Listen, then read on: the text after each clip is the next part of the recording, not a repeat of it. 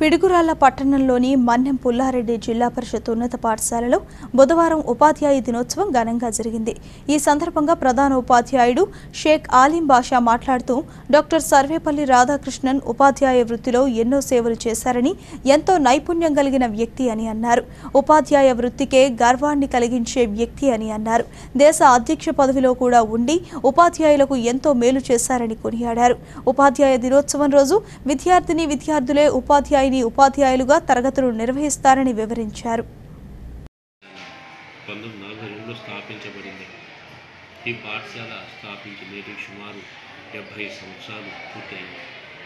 మరి ఈ డెబ్భై సంవత్సరాల్లో కూడా పదో తరగతి విద్యార్థులు తొంభై ఏడు శాతం ఉత్తీర్ణత సాధించడం ఇదే మొదటిసారి.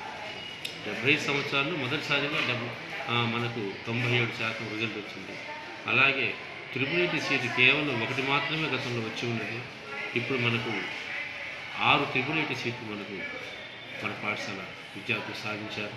అలాగే నాలుగు టెన్ జీపీ సాధించారు. ఇంతకుముందు పాఠశాలలో గత డెబ్భై సంవత్సరాల వైభవంలో టెన్ జీపీ హండ్రెడ్ పర్సెంట్ ఎప్పుడూ లేదు.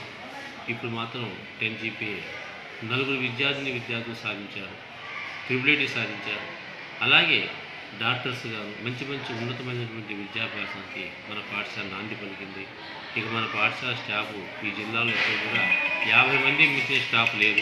ఇది మనం గర్వించాల్సిన విషయం. అందులో ఇరవై మంది మహిళా ఉపాధ్యాయులు పనిచేస్తున్నారు.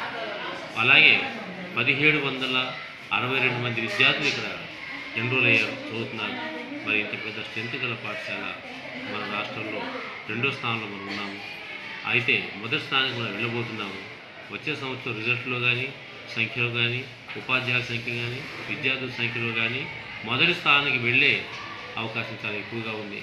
అలాగే వచ్చే సంవత్సరం మేము ఆ మూడు పర్సెంట్ లోపాన్ని కూడా సరిచేసి హండ్రెడ్ పర్సెంట్ ఉత్తీర్ణ శాతాన్ని సాధిస్తామని ఎస్ఎస్సిలో మేము ప్రజలకు మాటిస్తున్నాము మా పిల్లలు మేము చెప్పినట్టు వింటారు. మా విద్యార్థులు క్రమశిక్షణతో కూడిన విద్యను అభ్యసిస్తున్నారు. సో మాకు మంచి రిజల్ట్ వస్తాయని మేము ఆశిస్తున్నాము.